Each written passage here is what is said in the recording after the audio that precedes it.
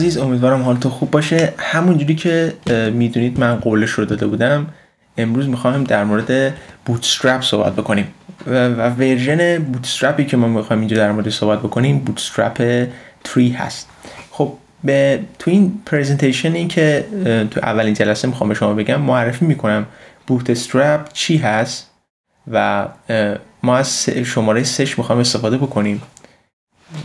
به شما خواهم گفت که بوتسترپ چی هست چی کار می‌کنه چه چجور چارچوبی هستش. خب برای مقدمه همونجوری که فاوندیشن رو درسش خوندیم و با همدیگه کار کردیم بوتسترپ هم چارچوبی برای طراحی وبسایت هست و کدهاش از قبل نوشته شده هست. شما این کدا رو همونجوری که توی فاوندیشن گفتم می‌تونید تغییر بدید و خوبیش اینه که من اگر در آینده وردپرس و جوملا رو به شما درس بدم که CMS هست یا Content Management System هست شما می‌تونید برای خودتون template درست بکنید با استفاده از بوتسترپ و فاوندیشن پس اونایی که دارن خیلی علاقه دارن به وردپرس و جوملا باید بدونن که بوتسترپ واسه وردپرس و جوملا کار می‌کنه و احتیاج هست همراه فاوندیشن و بوتسترپ این رو بدونید. چارچوبی هم هست برای یه وبسایت که با قابلیت تغییر در تبلت و موبایل یعنی بهش میگن responsive layout یعنی شما می‌تونید تغییرش بدید توی تبلت و موبایل. و حالا بهتون میگم که mobile first چی هست. اونایی که mobile first قضیه‌ش رو می‌دونن mobile first یعنی اول باید اونایی که طراحی وبسایت بلدن برای موبایل طراحی بکنن. الان سال 2014 هست و تو این سال هر کی داره وبسایت طراحی می‌کنه باید موبایل فرست باشه.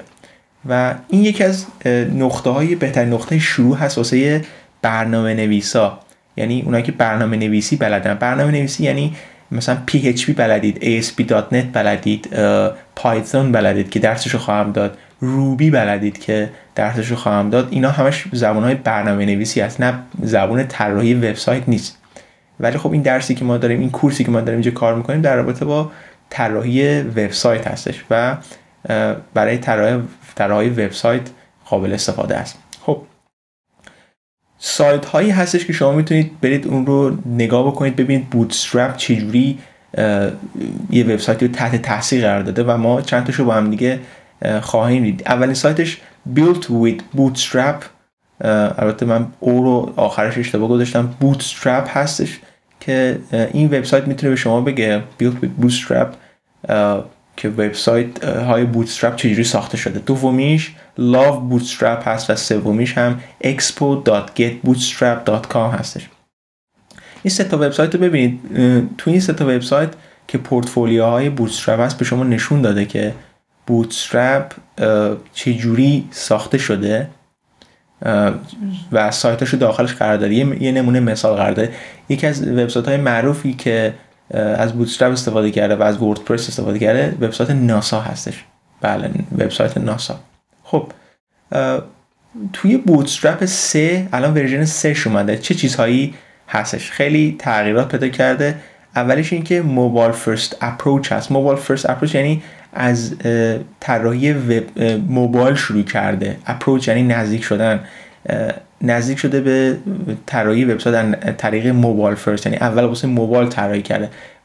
پس بدونین هر کسی که داره اول برای موبایل طراحی می‌کنه وبسایتش موفق تر هست. و تا اونی که اول داره واسه واسه دسکتاپ طراحی می‌کنه. چون دسکتاپ دیگه باید اول از کوچیک شروع بکنید طراحی وبسایت رو انجام بدید. و single responsive grid system داره. یعنی مثل فاوندیشن نیستش که چند تا داشته باشه. و این چند تا هستش که یکیش extra small هست یکیش small هست سومیش میدیوم هست و آخرش large هستش که می‌تونید کار بکنید. اینا یه دونه responsive grid بیشتر ندارن. دیگه نمیاد مثل فاوندیشن خیلی مختلطش بکنه.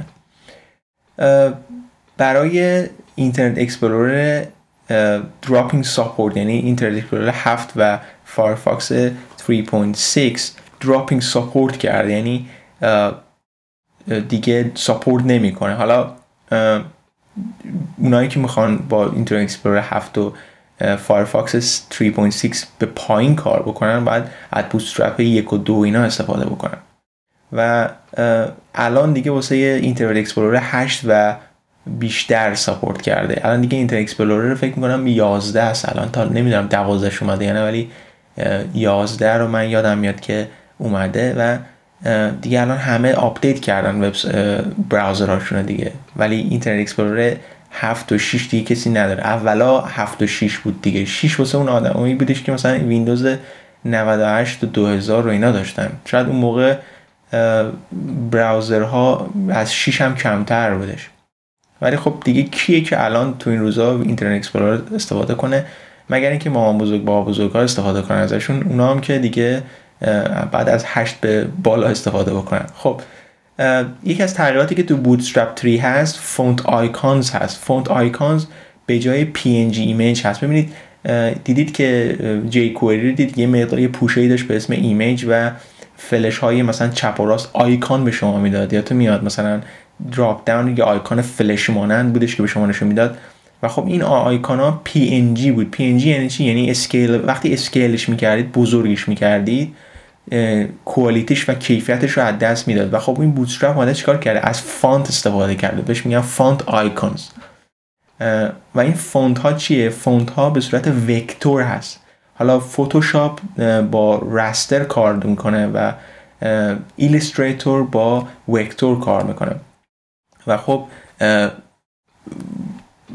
فتوشاپ که با raster raster ها با این vector ها همونجوری که فرقش رو شاید بدونید اینه که رستر رو بزرگ می‌کنین کیفیتش از دست میره یعنی شطرنجی میشه. یه عکسی رو بگیرید عکس هایی که مثلا با دوربینتون میندازید بزرگش کنید ببینید کیفیتش شطرنجی میشه. ولی وکتور یا فونت یا قلم هایی که دارید ازش استفاده می‌کنید وقتی بزرگش می‌کنید کیفیتش از بین نمیره. حالا می‌خواد به اندازه ساختمون برج دو طبقه دو قلوی آمریکا بزرگش بکنید. فقط ولی چیز نمیشه کیفیتش از بین نمیره. خب سوالی که اینجا پیش میاد اینه که آیا بهتره که از چارچوب واکنش دار استفاده کنم یا نه؟ حالا چارچوب واکنش دار مثل بوتسترپ و فاوندیشن. من این سوال خیلی سوال خوبیه. خیلی توی تماس با مای وبسایت من مطرحش می‌کنن. جوابی که این سوال من به این سوال باید بدم اینه که بستگی داره. بستگی داره که شما می‌خواید ازش استفاده بکنید یا نه. یه موقع هستش که شما می‌خواید پولی رو save بکنید یا on off, off shelf یه چیزی رو بردارید. برفرض شما غذایی رو می‌خواید از اول درست بکنید. مثلا مثلا مثل سوشی می‌خواید یه غذایی رو درست بکنید. مثلا برید اون غذا رو بسته بندی کردن گذاشتن توی shelf دورش هم مشما پیچیدن و شما می‌خواد برید بخورید. مثل کنسرو مثل مثلا قرمه سبزی که توی کنسرو هست.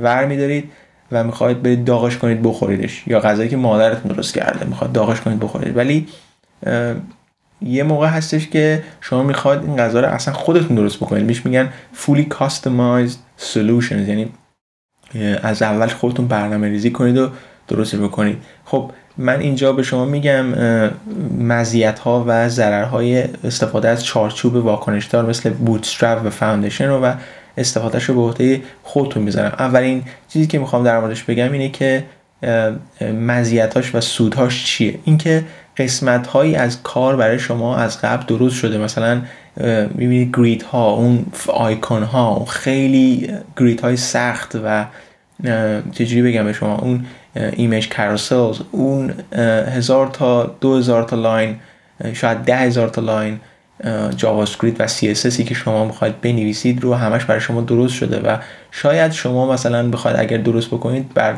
با توجه به مثلا گوگل کروم درست بکنید. ولی این فریم برای شما چیکار کرده؟ اومده واسه گوگل کروم سافاری فایرفاکس اینترنت اکسپلورر واسه تمام browser ها اوپرا درست کرده و این وبسایت شما اگر از این فریم استفاده بکنید همه جا کار خواهد کرد با استفاده بدون اینکه شما یک line code بنویسید. و خوبی بعدیش اینه که هنوز قابل تغییر و دستکاری هن. یعنی شما می‌تونید بردارید تغییرش بدید. می‌تونید یه CSS دیگه درست بکنید. اصلا می‌تونید رنگاش رو تغییر بدید. می‌تونید اصلا grid system ش رو تغییر بدید. خیلی کاره که شما می‌تونید با این فریم انجام بدید. و حتما نباید وبسایت شما مثل بوتسترپ درست شه. مثلا دیدید که بوتسترپ می‌تونید یه وبسایت بر حسب بوتسترپ درست بکنید ولی حتما حتما نباید مثل بوتسترپ درست بشه که می‌تونید تغییرش بدید. می‌تونید اصلا مثل وبسایت خودتون بکنیدش. اصلا کلا چارچوب رو تغییر بدید.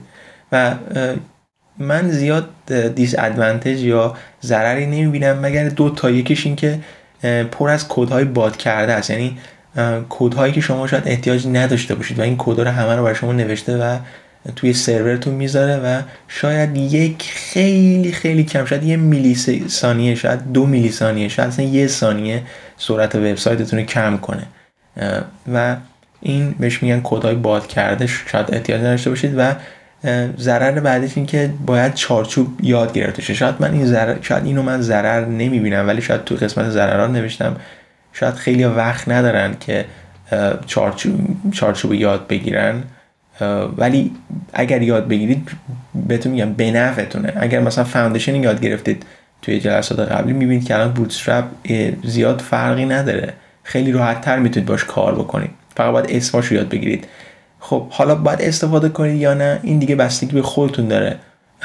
اینا رو با هم تشخیص بدید. به نظر شاید استفاده کردن از framework خیلی پول واسه شما save بکنه. مثلا خود من اگر من طراحی وبسایت انجام میدم یه وبسایتی که 5 تا صفحه داشته باشه 500 پوند شارژ می‌کنم خب. ولی یه وبسایتی که مثلا مثل eBay ده هزار تا 20 هزار تا صفحه داشته باشه شاید خیلی بیشتر شارژ بشه و شاید وقتش نباشه که دیگه طراحی کرد. شاید یکی از بهترین راهاست که واسه یه طراحای ببخشید واسه برنامه نویساست که از صفر بخوان شروع بکنن. حوصله طراحی ندارن ولی می‌خوان کد بنویسن مثل خود من. خب برای مقایسه بین Foundation و Bootstrap اگر تو اگر توی forum برید توی community برید توی اون آدمایی که ستاره دادن rate دادن برید به Foundation از 5 تا ستاره 4 تا دادن و به Bootstrap از 5 تا ستاره 5 تا دادن. و خب این این که معروف می‌کنه Bootstrap رو بر Foundation و اینکه خیلی زیبا درست شده Bootstrap و دانشگاه MIT این رو درست کرده. حالا دانشگاهی که اونجا درس می‌خونن خب حالا ما چی احتیاج داریم برای کار کردن با Bootstrap اولین چیزی که احتیاج داریم یه text editor هست. حالا من از Sublime Text استفاده می‌کنم تا Sublime Text 2 سش هم داره میاد. حالا جدیدن من نگرفتم ولی می‌تونید از Dreamweaver می‌تونید از NetBeans استفاده کنید این دوتا هم خوبه. Coda Notepad++ هر کدوم اینا رو خواستید می‌تونید استفاده کنید. فقط یه text editor احتیاج داریم. text editor منظورم Word Word Microsoft Word نیست. Pages نیست. اینا نیست. اینا word processor ه اینا فرمت میده. اینا هرچی وقتی شما save می‌کنید document تون اون فرمتاش هم save می‌کنه. و اینا تکس رو فقط save نمی‌کنه. و اینا به درد ما نمی‌خوره. text editor یعنی مثل TextEdit مثل Notepad ش ویندوز شما مثل Notepad++. و خودتون دیگه می‌دونید من در, در رابطه با چی صحبت می‌کنم. دوم که از Bootstrap رو باید دانلود بکنیم. سوم که یه مقدار image رو من واسه وبسایت می‌ذارم توی folder توی خود Bootstrap که دیگه نریم اینترنت اونا رو paste بکنیم کار شما راحت شه. jQuery رو احتیاج داریم. من از content delivery network ش استفاده می‌کنم به اسم CDN که دیگه نریم خودش دانلود بکنیم و حالا چه چیزهایی رو بعد از قبل بدونید. اولین چیزی که باید بدونید که HTML. اگر نمی‌دونید کورس های من در رابطه با HTML رو نگاه بکنید. دومین چیز CSS اینو باید حتما بدونید. اگر نمی‌دونید CSS رو باید بدونید که چجوری کار می‌کنه. من کورسی دارم در رابطه با CSS3 برید نگاه بکنید. خیلیشو یاد بگیرید. همون HTML رو نگاه بکنید. خیلی CSS در رابطه باش دارم توش. JavaScript بهتره بدونید. اگر نمی‌دونید مهم نیست ولی بهتره در رابطه باش بدونید. این هم در رابطه باش course دارم. جی انتخابش با خودتونه. اگر بدونید بهتره و ایجکس هم همینجور. بدونید بهتره. ولی اگر ندونید زیاد تغییر نمی‌کنه. اینا رو بدونید از قبل و بریم که جلسه بعدی دانلود بکنیم و شروع بکنیم باهاش کار بکنیم فعلا.